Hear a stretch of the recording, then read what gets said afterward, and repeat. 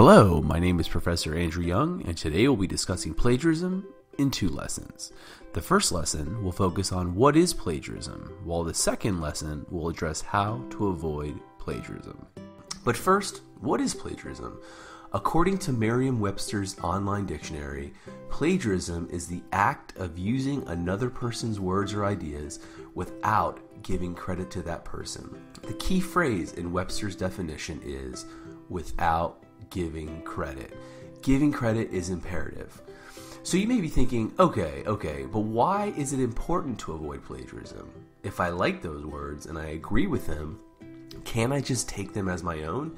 It can't be that big of a deal, right? The short answer plagiarism is a big deal. Before I explain the academic consequences of plagiarism, let me give you a musical example that illustrates the seriousness of plagiarism.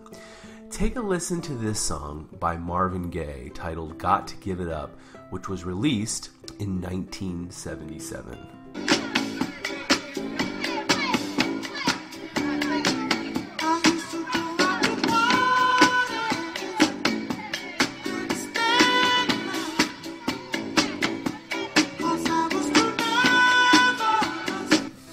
Now, listen to this song titled Blurred Lines, which was released in 2013 by Robin Thicke, featuring Pharrell Williams and T.I.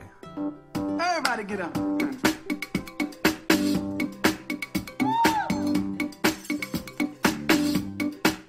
Everybody get up.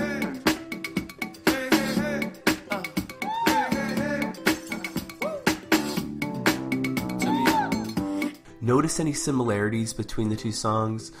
Marvin Gaye's family did. In fact, Robin Thicke was accused of plagiarism by the Marvin Gaye estate, which provided significant evidence against Thicke's blurred lines. And the Rolling Stone reported that Thicke and Company had to pay out a whopping $7.3 million to Marvin Gaye's estate for plagiarism.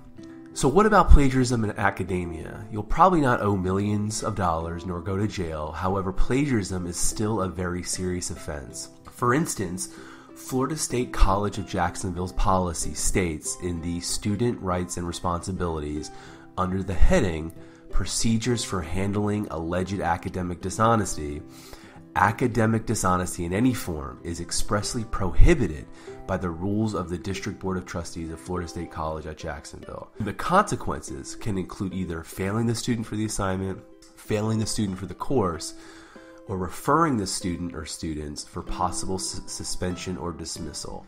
So it is very serious indeed. So, how can we avoid those blurred lines of plagiarism and original thought? First, it is key to understand the assignment and its expectations. For instance, if professors in social sciences or nursing or business, um, those professors often prefer a style called APA.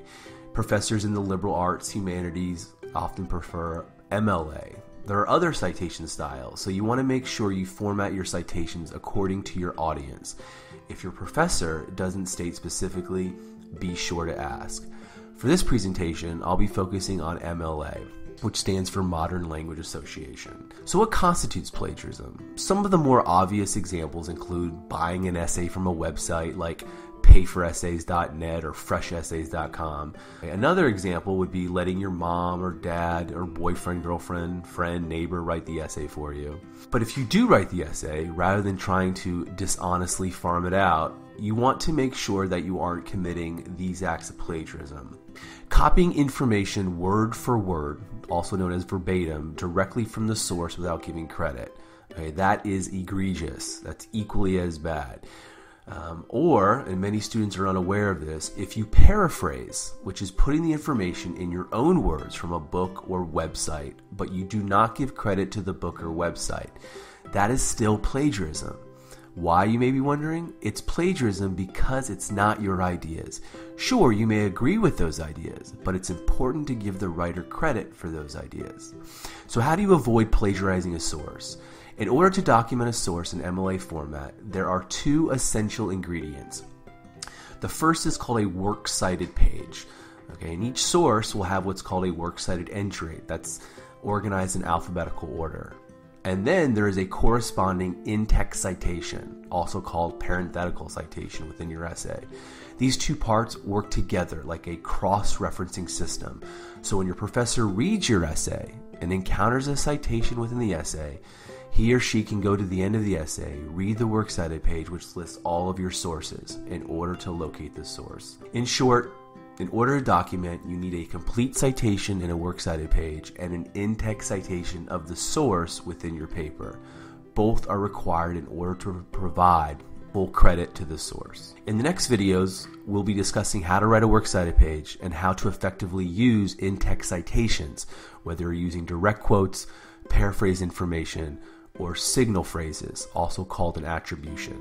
And this is the end of the first lesson on plagiarism. Stay tuned for lesson number two.